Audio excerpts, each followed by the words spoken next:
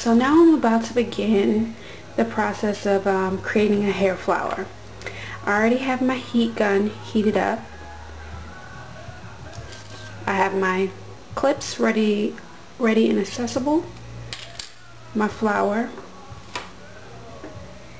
And my wire cutters. These are pliers, but they have a wire cutter. So that's what I'm going to use. And I also have my super glue. Okay, first, I'm going to take my flower and cut the stem. You don't want to go too close because you don't want to uh, lose some of the flowers, but the leaves. Depending on the type of flower that you get, it might take a couple of tries. Okay, now that I have my pretty flower off, I'm going to take one of my clips and I am going to apply it to a piece of paper or cardboard. I'm going to use uh, this piece of hard paper and you'll find out why later. So I'm going to clip it there and get my glue gun ready. Push my glue gun. Make sure my glue is ready to come out. And you want to do this on a surface where you will not, a non-stick surface, easy to clean. Because, see, I just made a mess, but it's okay. Because it's a non-stick surface. And it'll come right up. Okay, so what I do is I take the flower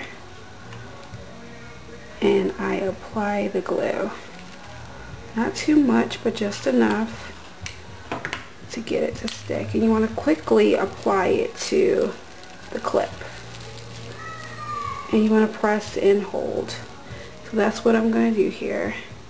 And the reason why you want to put it on uh, your clip on a piece of paper is because if you don't and you just apply it directly to the clip, the clip might actually stick together and it might be hard for you to open it.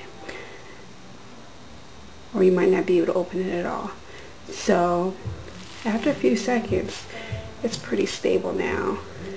So what I like to do is use super glue or any other adhesive that you like I like super glue because it's kind of thin and it can get into those areas where excuse me in those areas where um, maybe the glue didn't adhere so well. So this nice little bottle I just go ahead and squirt it where maybe it didn't apply so well. Just to cover all bases because the last thing you want to do is lose this.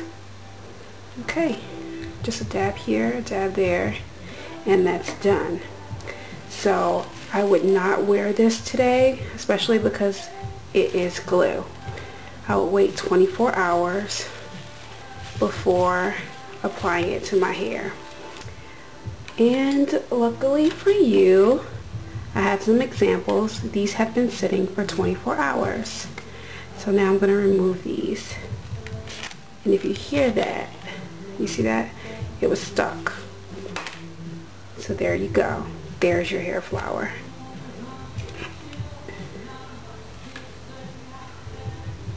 Here's another example of a hair flower.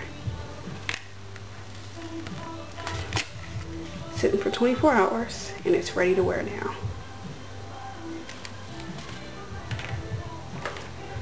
This is another beautiful flower that I made.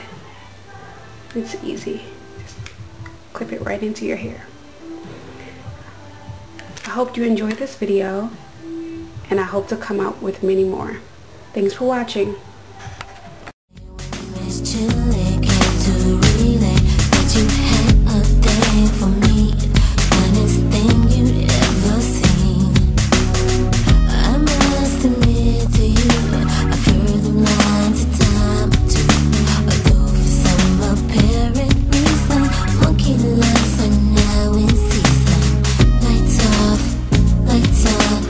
Instagram. the girl